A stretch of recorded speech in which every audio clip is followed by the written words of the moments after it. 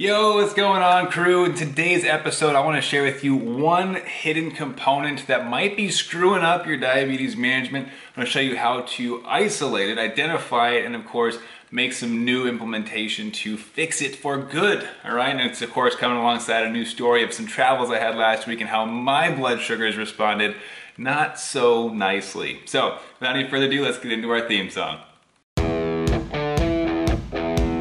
I've spent the last 10 years pushing the limits while identifying trends and patterns in my type 1 diabetes management. Follow along as I learn, apply, and share the fitness, nutrition, and lifestyle strategies that I've learned from diabetes experts around the world. The real question is how can we live fearlessly with diabetes while maintaining stable blood sugars? This podcast is here to give you the answer. My name is Matt Vande Vegte, head coach and co founder of FTF Warrior, and welcome to Part of My Pancreas. All right, crew. So last week, as I mentioned, I actually had a trip and uh, I flew across the nation, went over to Tennessee. I was in Nashville, Tennessee for uh, just under a week. And uh, it was a fun trip. It was a business conference. Went out there to, to, meet some people and have some great discussions, learn some new things about how I can reach more people and help out with more diabetes management. Uh, and through that process, I actually got a chance to actually meet for the first time one of my team members, someone I've been working with for almost six months finally had our first face-to-face and it was a great time to uh, plan out some really exciting stuff we've got coming up for all of FTF Warrior, our new programs and uh, all that great stuff, which if you're not familiar with, I can talk about that later in today's episode. But first I want to talk about my blood sugars and traveling with diabetes and how they did not cooperate as well as I would have liked. Now, before I get any further, what I want you to do right now is if the topic of traveling and diabetes and you know how to not only manage blood sugars but also like what to pack, if that interests you and you're watching on YouTube, drop a comment down below with the word travel. Just type travel if you want a video on that topic. And if there's enough people, then I'll make sure that I cover that as well. But for today, with that trip, um, one of the things that I did to try to manage blood sugars as I was out there is to try to keep a couple of different key components consistent. But even with me putting out my, my best foot forward, I still ran into some frustrating blood sugars this one night.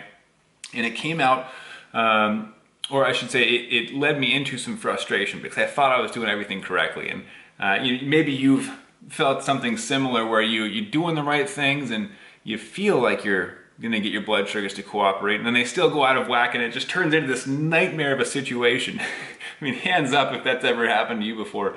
Uh, but with this unique situation, I ended up seeing blood sugars so high that I, I started wondering if something was wrong with the insulin itself. And I, I ended up hitting blood sugars that were higher than I've seen in multiple years.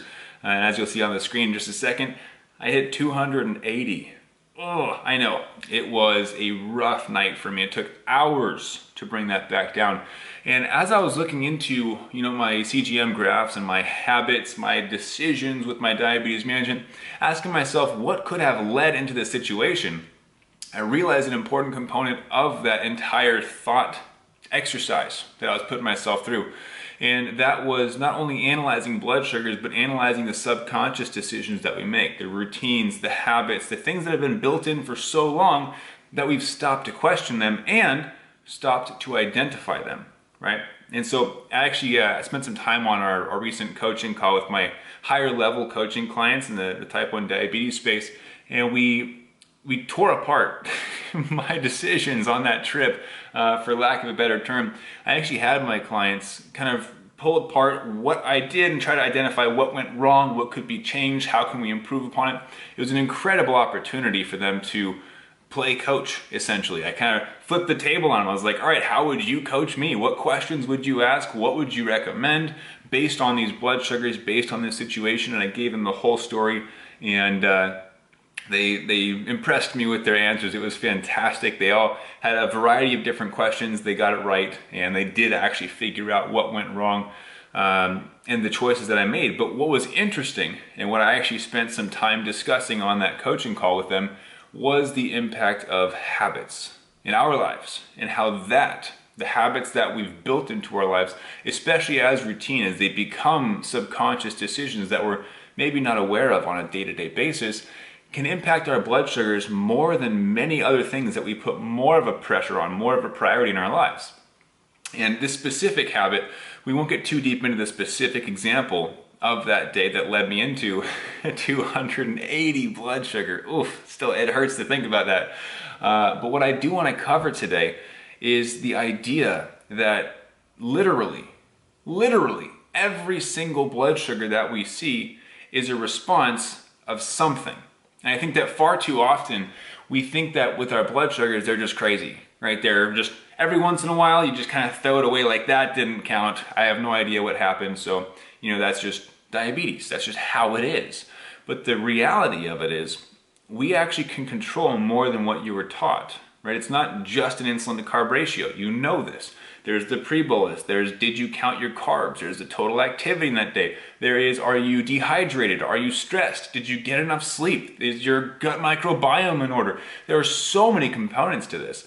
And the realization that comes alongside that, of course, is that we hold a lot more of the power than we were first told. We actually have the opportunity to impact our diabetes management on a much higher level than we were initially led on, right? And the unfortunate side of this for some people is that they also have the realization that they are responsible for the blood sugars that they see. And of course, that 280 blood sugar that I saw, I am now aware because of the years of research that I've put into type 1 diabetes, uh, and of course the hundreds of people that I've coached through this disease, I am aware that I did something that led into the 280 point blood sugar right? It didn't just happen magically. It didn't just appear out of nowhere and I have no responsibility for it. I made some decisions somewhere along the way that led into that blood sugar happening. It is not by random choice or random chance that that happened, right? Which also means it is now my responsibility to analyze and dissect that situation to figure out what happened, what choice that I made that led into that, so that I can learn from it and change it in the future. And here's the rub. People who think that diabetes is random are pushing off responsibility, which then lets me know they will never have great control. Because if they push off the responsibility, that also means that they are letting go of any chance of getting control because they won't learn from their mistakes. Right? If you um, refuse to acknowledge that you were texting and driving and that's why you crashed, you're gonna think you just crashed randomly. Like Car crashes just happen. It's just part of life, right? And you'll never learn to stop texting while you're driving because you didn't pick apart your habits, you didn't analyze that situation in an effect or in an effort to learn from your mistakes. So if you don't learn that texting while driving is bad, and that's why you had your car crash, you may never learn to stop texting and driving. You may crash car after car after car, year after year after year, and never figure out why. That's the danger in not picking apart your diabetes management and looking for what choices you made. What do you have control over that could potentially save you from future destruction? Had I not learned from that 280 blood sugar that night, I wouldn't have made a change that night that the following night would have fixed, right? So the following night, I made a slightly different decision based on the information that I gained, I dissected that situation, analyzed it, figured out what went wrong. I made an adjustment, and the following night went smoothly.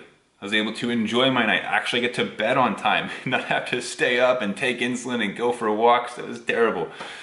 If you never isolate the habits, the routines, the pieces that you can take responsibility for, you will never know what to take action on. And you may not know that you can take action on right? Just again, back to the car accident. If you crash your car and it's because you were texting and driving, but you uh, either refuse to analyze the situation, to recognize, of course, that texting and driving is what led you to crash, or on the other side of that, you know it was texting and driving, but you refuse to take responsibility for it, right? You're like, okay, yeah, I was texting and driving, but it was also windy outside. The wind must have caused that.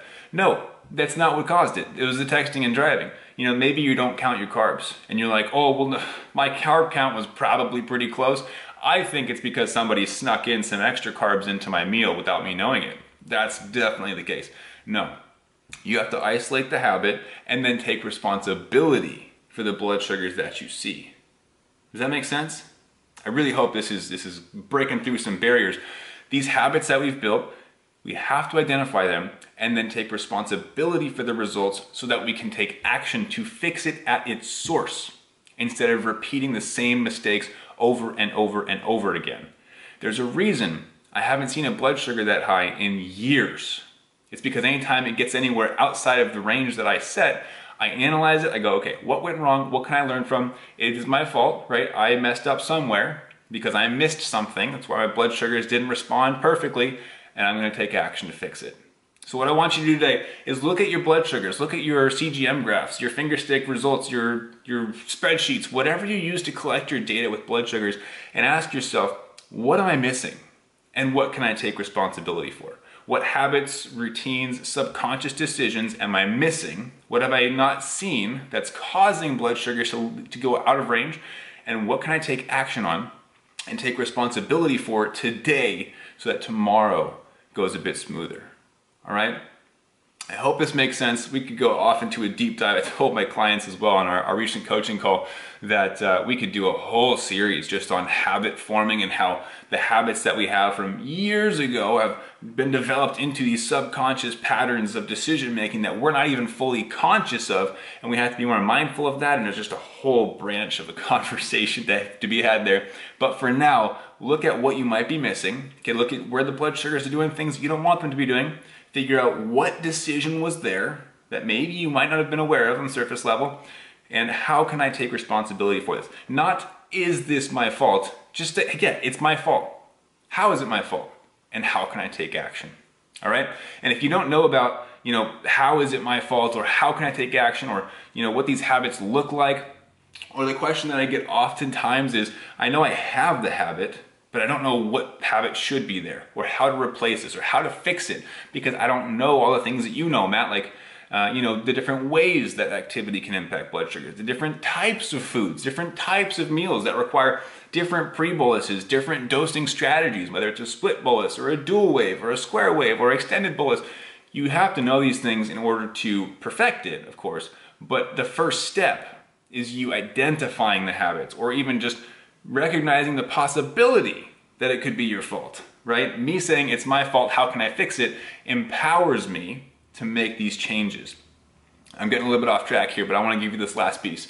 There's this thing called the external locus of control versus the internal locus of control. If you have an external locus of control, you, that means that you believe that the world happens to you. You believe in fate, nothing you do matters because everything's just going to happen versus an internal locus of control means that I have power over my life and the actions that I take. Therefore, I take responsibility for the results that I experience. In other words, you recognize that you create the outcomes in your life. If you want to go lose weight, you're going to eat right and go exercise versus waiting for somebody else to fix it or just saying, oh, this is just how life is. You need to have an internal locus of control if you expect to see results with your diabetes. You cannot wait for your doctor to fix you because they won't, right? They're not you. they only see you once every three to six months. You have to have an internal locus of control. Google that if you want more info on it, all right?